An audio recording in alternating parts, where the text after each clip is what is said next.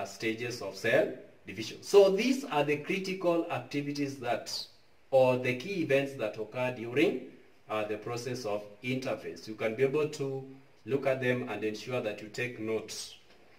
Now, what is the behavior of the cell at interphase? Number one, the chromosomes are not visible but appear as granules. The chromosomes are not visible but appear as granules. Remember, we said that chromosomes are made of fine filaments which we call the chromatin. Now, at this point, you cannot be able to see those fibers or those filamentous structures or uh, the strands. They appear as granules when the cell is actually dividing for, for cell division. And then the nuclear membrane is fully intact as seen in the diagram here. Yeah, you can be able to see that uh, the chromatin material fully uh, threaded, highly coiled at the center of the nucleus and then the nuclear membrane is intact, nuclear membrane intact and then of course you can be able to observe the centrioles especially for the uh, animal cell. For the plant cell these structures are absent for information. Now, the first phase of mitotic division is the prophase. Prophase uh, means proceeding into mitosis. What are some of the behavior of the cell structure at this point? Number one, the DNA becomes more visible as chromosomes and therefore they can be seen as homologous structures. They can be seen as homologous structures. Look at the red and the blue.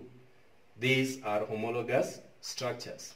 You can be able to see the chromatids. The chromatids are attached at the centromere. They are attached at the centromere. Remember the specific point of attachment within the centromere is referred to as kinetochore. Kinetochore. That should not worry you. And then the centrioles, remember they form. They form at interphase but at prophase the centrioles move apart. That is, they migrate to the opposite poles. They start localizing themselves to the op opposite poles. And then the spindle fibers begin to form. The spindle fibers begin to form. These are the spindle fibers. The spindle fibers. And remember, they form from the centrioles. Then the second stage is metaphase metaphase. In this case, the spindle fibers attaches to the centromere. The spindle fibers have attached themselves to the centromere. They have attached, they have actually invaded the center of the cell and attached themselves to the centromere. And it is important to note that at this phase, the nuclear material, the nuclear membrane dissolves completely. Dissolves completely, of course, it is for it to allow the free movement of homologous chromosomes as they align themselves to the equatorial plane. And therefore, the second activity is that the chromosomes line up at the midline of the center of the cell. That is what we call the equatorial plane as observed here. So, at metaphase, the homologous chromosomes are aligned at the equatorial plane.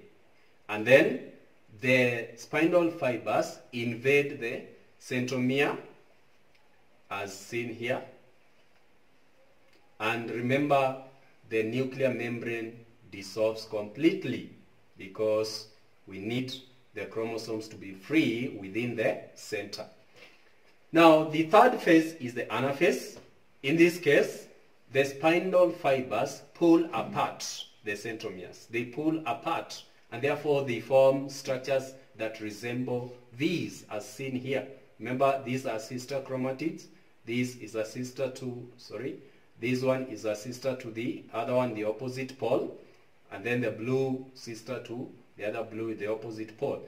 Therefore, during anaphase, the sister chromatids are pulled apart. They are pulled apart.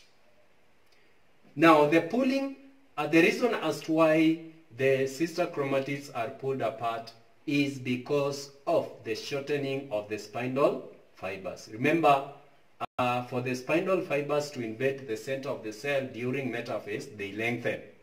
But during anaphase, they shorten. Therefore, as they shorten, they pull apart whatever they have attached themselves to. In this case, the chromatids. The last phase is the telophase. Telophase. In telophase, the chromatids have reached their destination. The chromatids have reached their destination, which is the opposite poles, as can be seen here. They have reached their destination, and and they uh, they start, especially in uh, early telophase, they are thread-like. They are thread-like because remember, this cell is actually preparing for another type, another process of cell division because the first cycle completes a telophase, the second one a telophase, the, the third one in that order. In that order. So once it completes, then this is the nature that we'll be able to see for the uh, chromatids. They appear thread-like, however, at late, at late uh, interphase, they will have to take some dyes as they prepare into the uh, into there. So now we say that uh, during telophase, uh, the chromatids have reached the centrioles, and therefore you are able to see that uh, there are two daughter cells that are forming from an initial one that was a single one. So at this at this point, you can be able to see to say that from one single cell we already have two, and these two daughter two cells are referred to as daughter daughter cells because they have identical identical uh, chromosomal constitution. Now, in this phase of telophase, there are two important things that you need to note. That at this point you can be able to differentiate between a cell, a plant cell dividing and an animal cell dividing. Now, for an animal cell, the cell membrane constricts. The cell membrane constricts in a process that we call cleavage. This is uh, the process of cleavage shall be discussed in later uh, uh, syllabus, that is in other uh, uh, units, but not in this. Whereas in plant cell, there is a formation of a new cell plate, the formation of a new cell plate at this point, and once the cell plate forms, it will develop into a cell wall. Then the daughter cells now will be able to separate themselves themselves from the other. So the two daughter cells will be independent from a single uh, parent cell as we started from the point of interphase. And finally, the DNA becomes non-visible and therefore it is uh, observed as chromatin. Now let's finalize by saying this that by using the, the, by, the, by using the spindle fibers you are able to note that at at prophase the spindle fibers form at metaphase the spindle fibers lengthen and invade the nucleus and attach the centromere at anaphase the spindle fibers shorten pulling uh, pulling the chromatids towards the opposite poles and finally they begin to decompose or disintegrate and they disappear at telophase.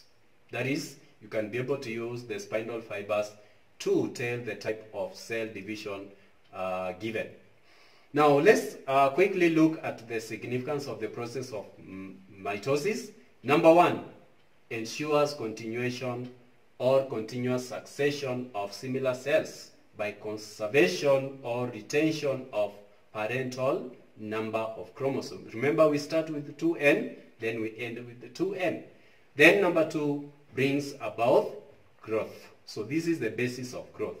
Then number three brings about assimilation of new materials, especially when there is a wound. Remember the healing of wounds therefore brings about assimilation of materials to lead to healing of wounds. And then lastly, it is the basis of asexual reproduction.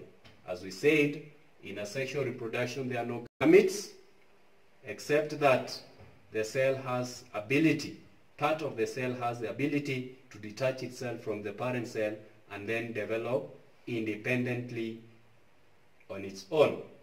Such processes or such forms of asexual reproduction including binary fission in, in amoeba and bacteria, budding in yeast, and even sporulation in fungi amongst others.